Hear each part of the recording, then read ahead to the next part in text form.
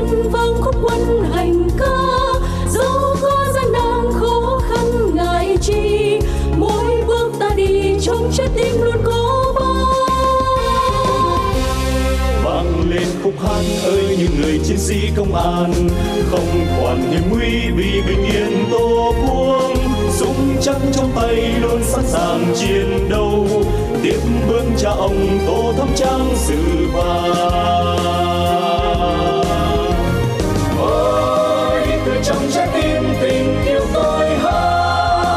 chiến sĩ công an, niềm tin sắc son lời thề tổ quốc luôn kiên trung, mặc cho khó khăn không sơn lòng.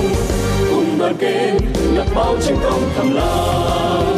Ta quên sao, đồng đội hy sinh vì bình yên tổ quốc vượt bước tiến dù chân tuyến mới còn nhiều trông gai.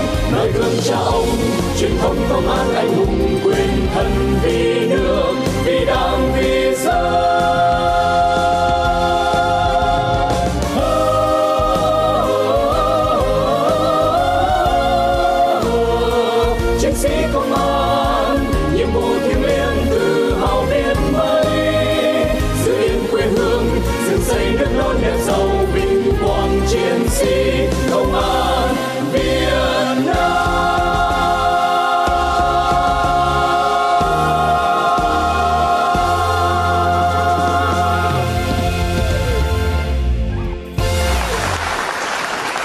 Kính thưa quý vị khán giả truyền hình.